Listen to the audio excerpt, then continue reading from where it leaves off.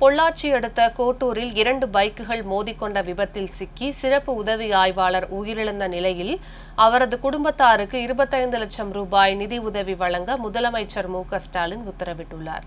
பொள்ளாச்சி அடுத்த அங்கலக்குறிச்சி பகுதியைச் சேர்ந்த கிருஷ்ணவேணி இவர் மகளிர் காவல் நிலையத்தில் சிறப்பு உதவி ஆய்வாளராக பணிபுரிந்து வந்தார். இந்நிலையில் நேற்று மாலை ஆறு மணி அளவில் அங்கலக்குறிச்சியிலிருந்து இருசக்கர வாகனத்தில் கோட்டூர் வழியாக காவல் நிலையம் சென்றார். அப்போது கோட்டூர் வள்ளியம்மாள் தேட்டர் அருகே எதிரே அதிவேகமாக வந்த அங்கலக்குறிச்சியை சேர்ந்த சிவகுமார் என்ற இருபத்தோரு வயது இளைஞர் கிருஷ்ணவேணியின் வாகனத்தின் மீது மோதியுள்ளார்.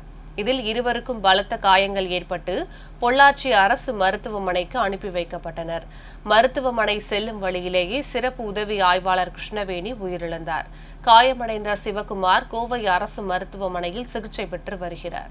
மேலும் உயிரிழந்த சிறப்பு உதவி ஆய்வாளர் குடும்பத்திற்கு முதலமைச்சர் மு க ஸ்டாலின் இருபத்தைந்து லட்சம் ரூபாய் வழங்க உத்தரவிட்டுள்ளார்.